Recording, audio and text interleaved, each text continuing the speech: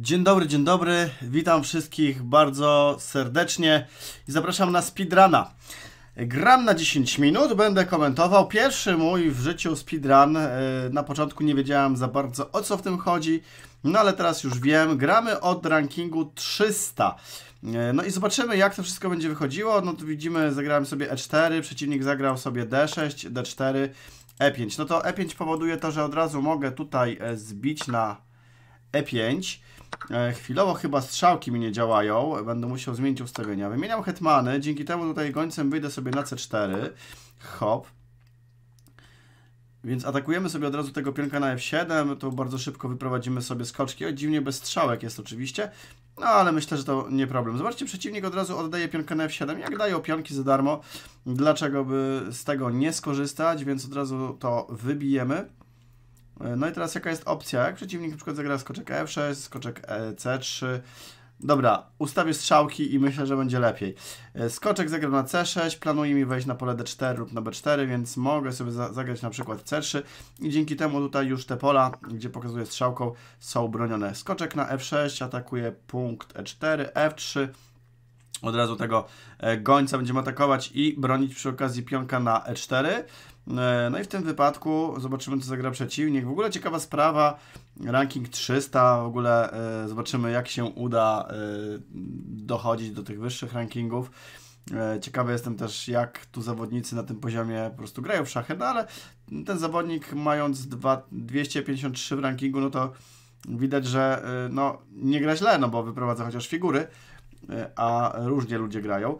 No dobra, to już widzimy, że jest podstawka, więc e, bierzemy tego gońca bezlitośnie i bardzo szybko.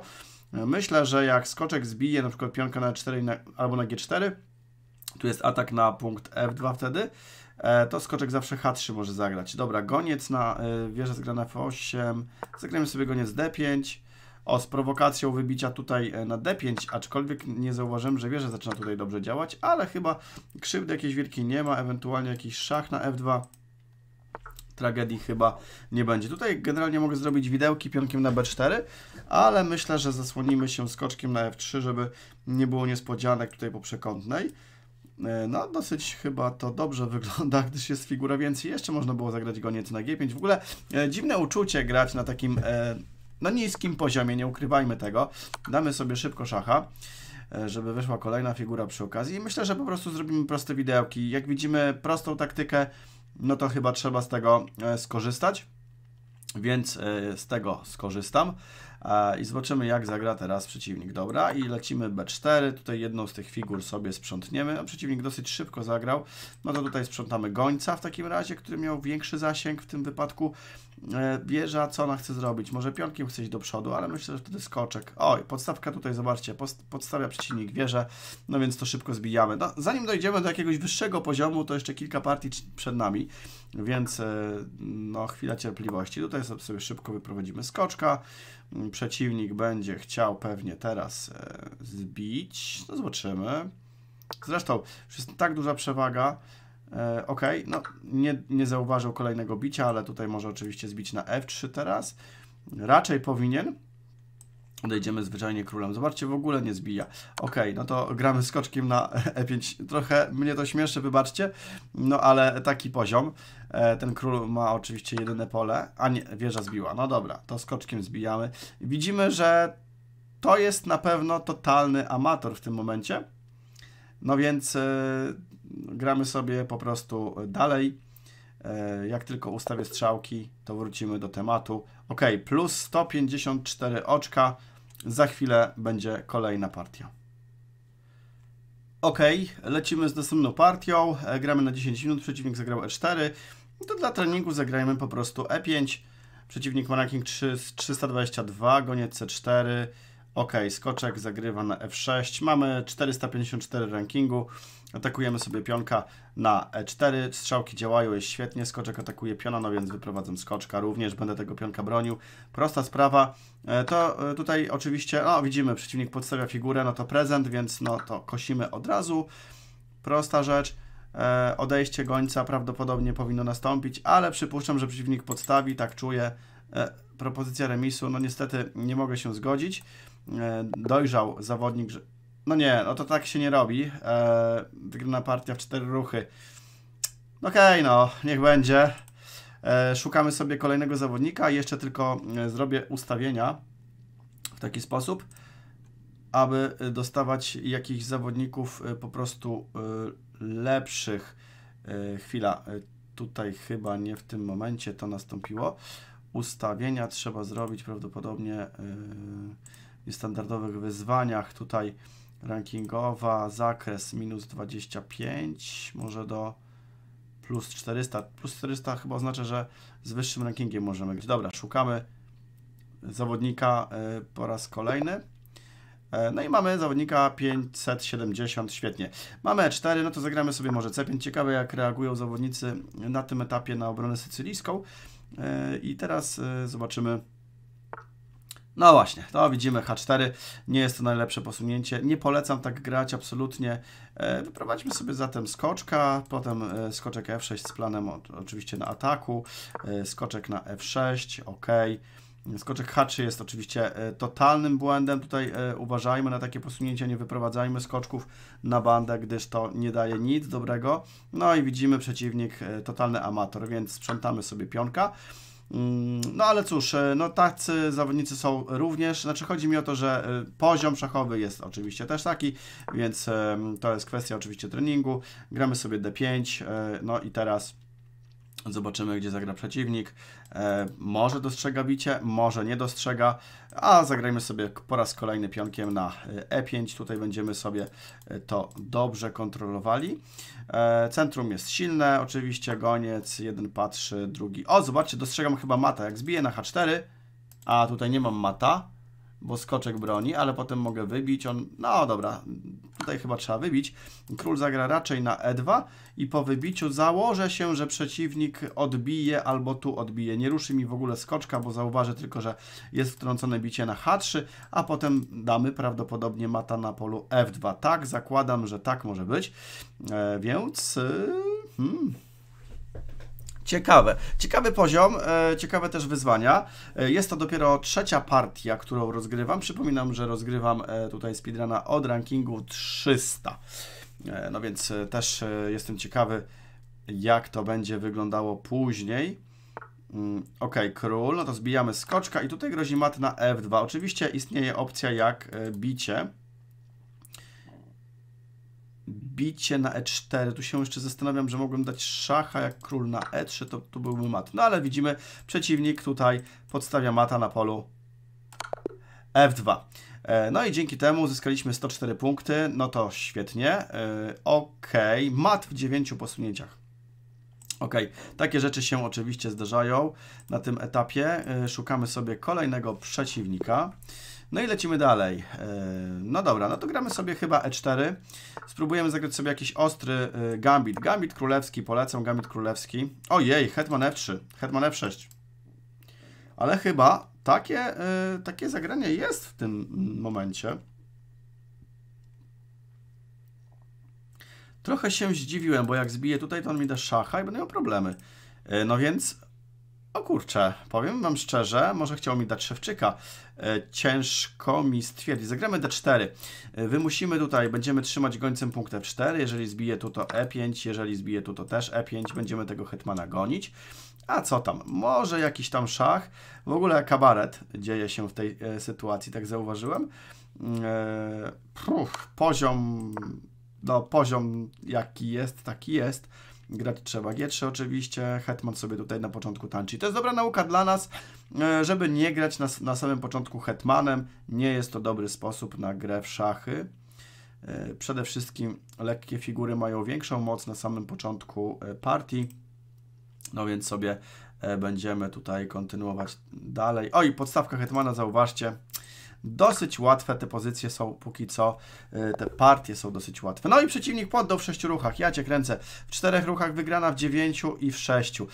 Tak można grać. E, no, to jest całkiem przyjemne. Dobra, szukamy sobie kolejnego przeciwnika. E, mam nadzieję, że z jeszcze większym rankingiem. Tak jest, 771. E, dobra, E4. No to zagramy sobie obronę skandynawską. A czemu by nie? Jeszcze czeka mnie obrona jakaś francuska. Przypuszczam, by trzeba było spróbować. Mm, dobra, D3. Przeciwnik chce wymienić. Jak tu zbije, tu zbije i wymienię. Można tak zagrać, będzie spoko, ale chciałbym czegoś więcej. Zagramy sobie E5. Ok, C3, no to wychodzimy sobie skoczkiem, bo za chwilę wyjdzie drugi skoczek. B4, no to przeciwnik widzę jest e, koneserem poruszania się pionkami. No wyjdźmy tym skoczkiem. Jak nie będzie gonił, no to po prostu zagram sobie tam na A5. Ok, e, myślę, że D4, żeby tu osłabić i tam dać szacha. No, myślę, że zareaguje, zareaguje tutaj na pionkę na pewno. O, jednak nie. No to myśl, to, to tutaj szacun, wtrącony ruch, bardzo fajnie. Skoczek A4. Oczywiście już czarne mają lepiej, to bez dwóch zdań, ze względu na rozwój figur. E, no i teraz pytanie, co zrobią białe? Czy białe zbiją na D4, czy przepchają na C4? To jest dosyć ciekawe, ciekawe i nieciekawe. Bije, od razu bije pionkę za friko. Skoczek B3 prawdopodobnie może zagrać, to wtedy przy kurze może takim ruchem jak goniec B4 i będę groził na przykład e, ruchem e, C2 ze zdobyciem hetmana. I teraz mimo wszystko tak zagram. Czasami jest tak, że wieża zagrywa na B1 i próbuje atakować gońca, wtedy C2 działa i zdobywamy hetmana dosyć szybko, dosyć fajnie.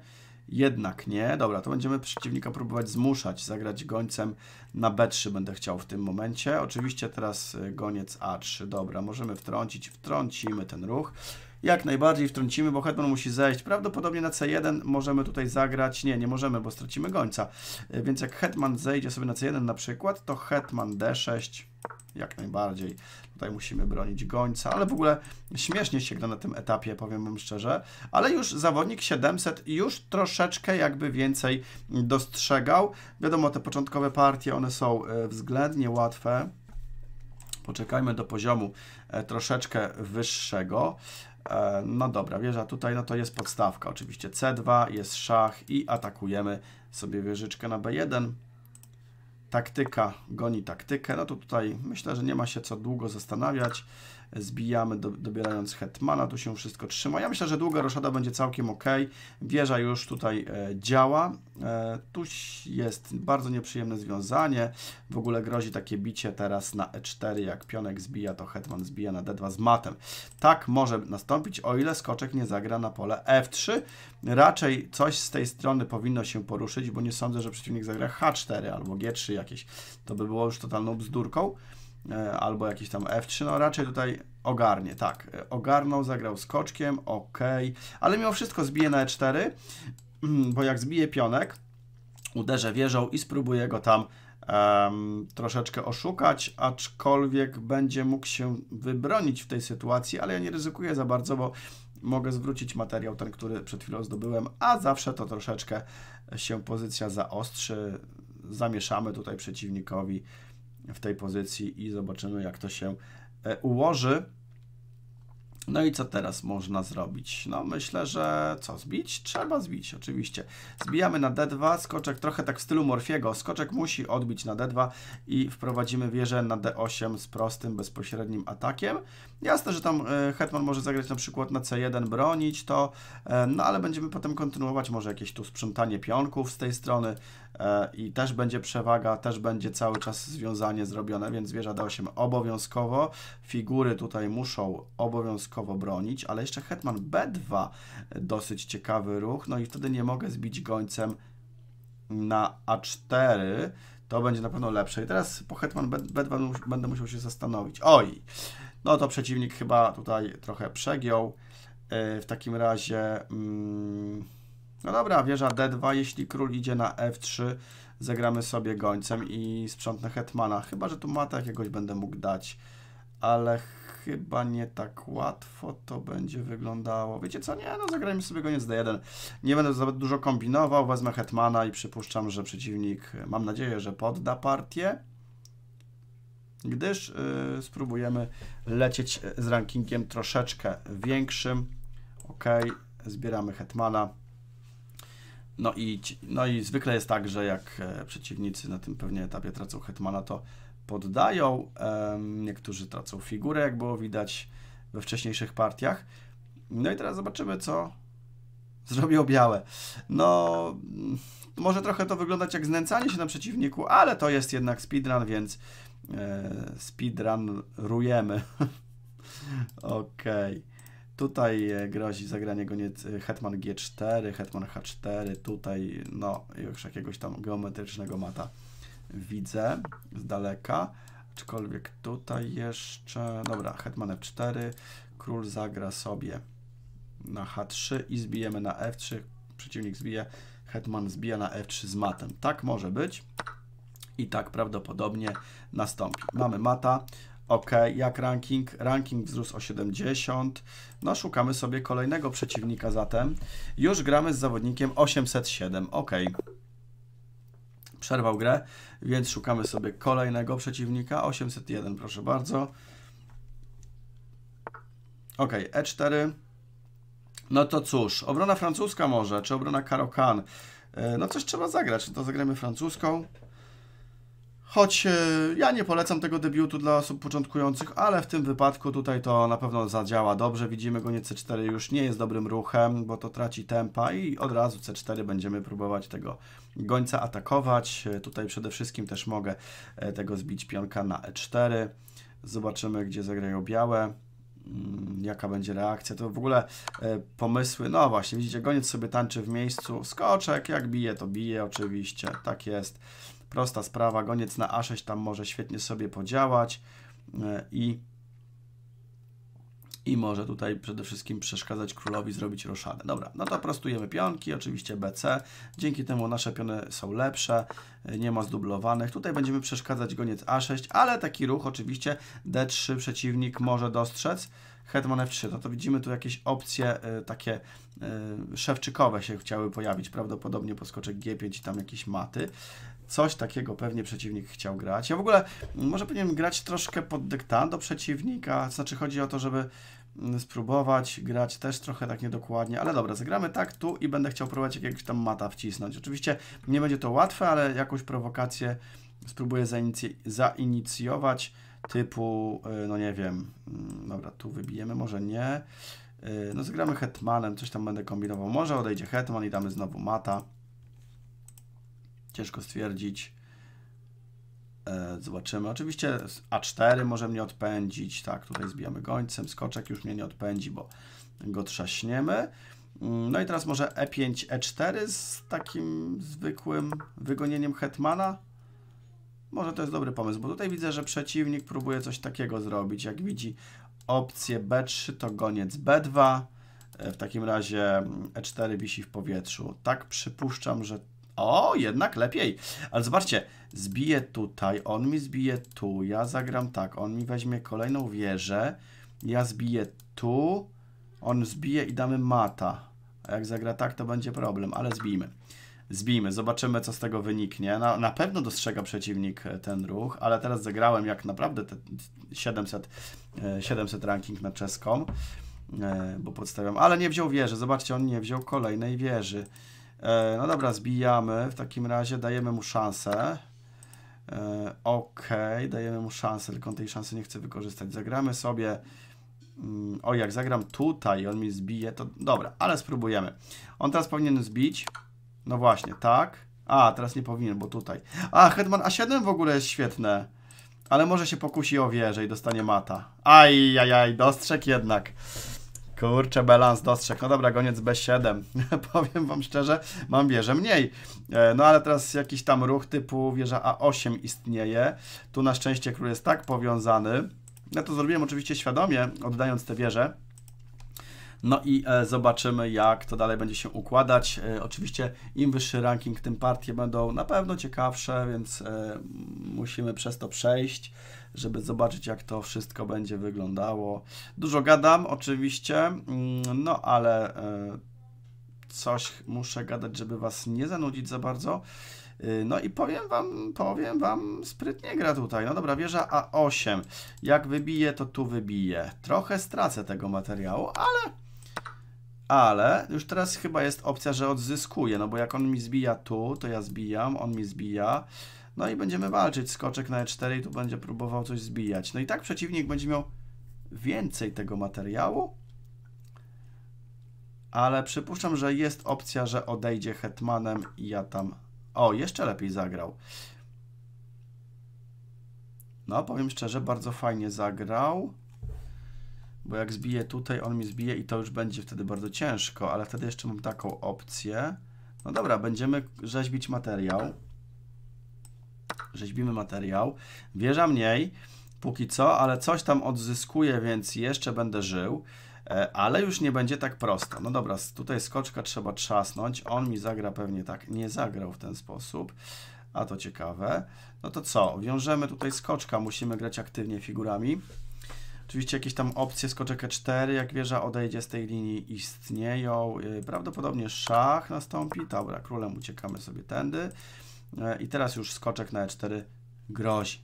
Oczywiście też grozi zabicie tutaj na G7, to dostrzegam, ok, ok, ok, ok, przeciwnik chce mi dać tutaj mata, zagram tu, on mi da szacha, ja zagram tu i białe będą miały problem, bo będę chciał zdobyć już kolejną figurę, goniec tutaj jako obrońca będzie dobrze na tej diagonali sobie działał, no i co, teraz tutaj jak zagra przeciwnik, to skoczek C3, no chyba się trzyma, bo jak zagra tak, to w ogóle królem fajnie sobie ucieknę na pole F5. No i ta partia, no już jest jakaś walka. No, chciałem przeciwnika tak trochę oszukać perfidnie, ale jednak się wybronił. To się trzyma. Ok, to się póki co trzyma. I tutaj będę chciał za chwilę zbijać. Yy, pytanie tylko czym? Myślę, że wieżą. E, tutaj szachów nie ma. Teraz jak król zagra tak, to ja idę sobie F5 i tam już są siatki matowe. Więc e, no ta pozycja już jest wygrana, ale muszę uważać. Ok, tu zagram, tu mogę zagrać. Jak wieża tutaj, to ja zbijam, on zbija tam, tu, tu, goniec zostaje. Wszystko się zgadza, grozi zagranie F4 i wieża na D3 z matem. No więc y, nie z matem, przepraszam, bo król na E2 jeszcze ucieka, prawie matem. Grozi tutaj i mat na F2. I mat na F2 jest, tak. Więc, y, więc się chyba udało. Mamy to. Ok, ranking. 850. E, Od tego rankingu będziemy, myślę, że zaczynać kolejny odcinek. Na razie taki rozgrzewkowy speedrun. Dzięki za oglądanie. Dajcie znać, co sądzicie o tym pomyśle, który oczywiście już był powielany przez wielu, wielu e, streamerów. Pozdrawiam, do zobaczenia, cześć.